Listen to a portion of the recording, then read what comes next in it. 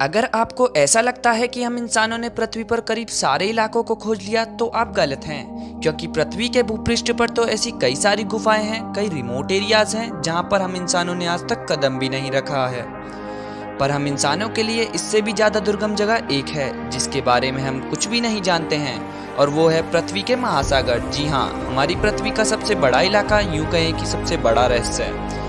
हम आज धरती के महासागरों के बारे में सिर्फ़ 5 परसेंट ही जानते हैं और महासागरों की 95 परसेंट दुनिया ऐसी है जिसके बारे में हमें थोड़ी सी भी जानकारी नहीं है। हो सकता है कि महासागरों की गहराई और उनके अंदर दबे कई राजों से आप अनजान हो और आज मैं इस वीडियो में इन रहस्यों को आपके सामने खोलूँगा। तो आपका स्वागत है दी नॉलेज में। मैं हूँ विनय कौशिक। तो चलिए आज जानते हैं कि कितने गहरे हैं हमारे महासागर और उसकी हर एक गहराई पर जाने पर आपको क्या क्या मिलेगा। तो दोस्तों, चलिए हम लगाते हैं गोता। और आप पहुँच जाओगे समुद्र तल की 40 मीटर की गहराई पर, जहाँ समुद्र का सबसे पहला पड़ाव आता है।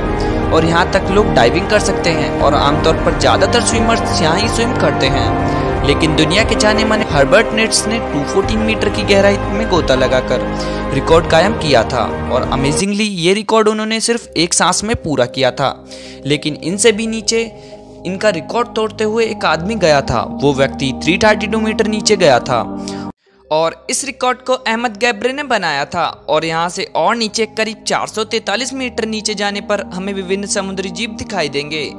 हम अगर इससे और नीचे 500 मीटर की गहराई पर जाएँ तो हम जान पाएँगे कि ये ब्लू वेल फ़िश की मैक्सिमम डाइव लिमिट है। यानी कि ब्लू वेल फ़िश मैक्सिमम इसी गहराई तक डाइव लगाती है।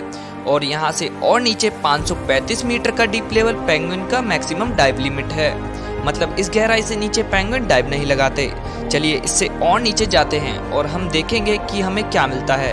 यहाँ से और थोड़ा नीचे जाया जाए और हम पहुँच जाएँगे 700 से साढ़े मीटर की गहराई पर।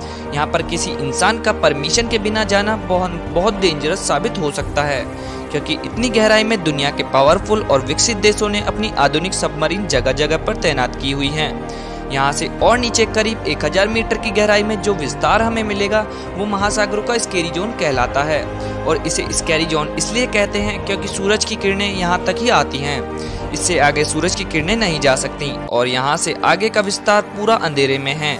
और इसके अंदर की समुद्री जीव सृष्टि बहुत रोमांचक और खतरनाक है। इतनी गहराई में कोई भी इंसान बिना किसी उपकरणों के नहीं जा सकता, क्योंकि यहाँ का वाटर प्रेशर वीनस प्लेनेट के सरफेस के प्रेशर के बराबर है।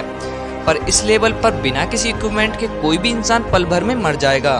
इससे नीचे 1200 मीटर की गहराई समुद्री कछुए के लिए मैक्सिमम डाइव लिमिट है और गहराई में करीब 2000 मीटर नीचे जाने पर हमें यहाँ पर ये अद्भुत रोचक खतरनाक जीव सृष्टि दिखाई देगी। यहाँ पर कुछ भी देखने के लिए हमें हाई पावर टॉर्च की ज़रूरत पड़ेगी। लेकिन यहाँ पर पाई जाने वाली एंगलर फ़िश एक ऐसी प्रजाति है जिसे कुदरत ने ही उसकी आगे टॉर्च दे रखी है। इसे लाइट फ़िश भी कहा जाता है और इसके मुँह के आगे बायोलुमिनेंट लेयर्स लटके होते हैं।